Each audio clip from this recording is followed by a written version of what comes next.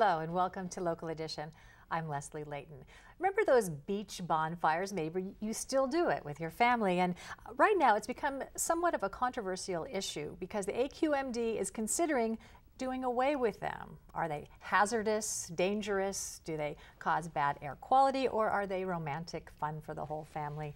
With us now is Allan Mansoor. He is an assemblyman and he is working to keep those bonfires uh, part of our culture.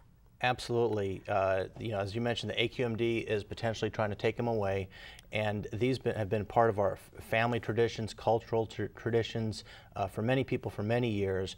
And for an uh, unelected body to try to take them away is is ridiculous. I mean, what are they going to go after next? Why are they selectively trying to take away the, the, the ones at the beach? Are they going to go after barbecues and fire pits in people's backyards?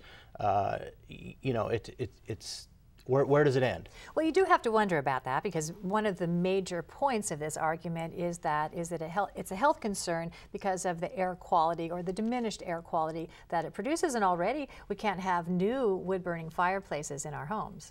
Well, I, I can see how it, may, how it may have an impact right at the source uh, but regionally, I think it has a very minimal impact. And if it is having an impact, then the argument would be, well, then the ones in the backyards and the barbecues must be having an impact as well. And they did some studies, but the, it's questionable at best because I want to see where they actually place the meters, and any valid study should be backed up by an independent analysis to back up the study. You know, they've been talking about this for a, a while. A year mm -hmm. ago, I was like, oh, no, no more beach bonfires, because I personally like them, but it's moving along and nothing has happened yet. Where does it stand? Well, there's a hearing potentially in July, and uh, I encourage people to get involved. I mean, we all have great memories, uh, you know, uh, as kids, and we want this to, to pass this on uh, to our kids as well, to have these great memories and family times. So I want to encourage all everyone out there, get involved, contact your elected officials, contact the AQMD, uh, let your voices be heard, contact my office,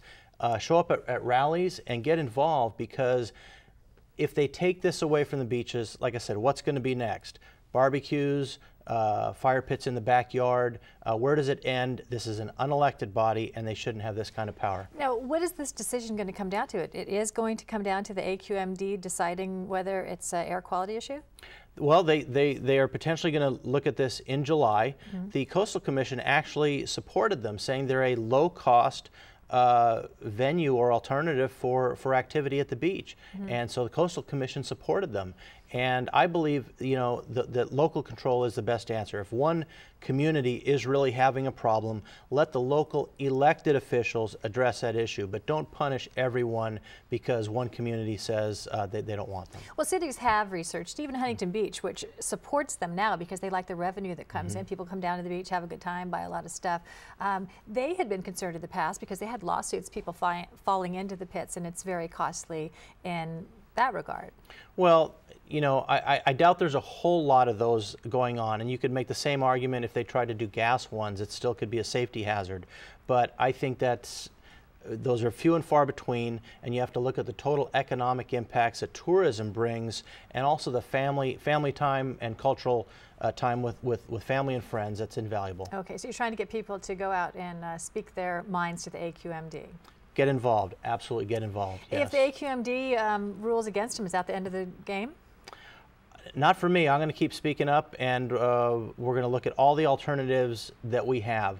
But I, I, can't stress enough that people have to get involved and let, let their voices be heard uh, if we want to keep our fire rings. All right. Thank you very much, Allan Mansoor, for being you. here, and thank you for joining us. I'm Leslie Leyton.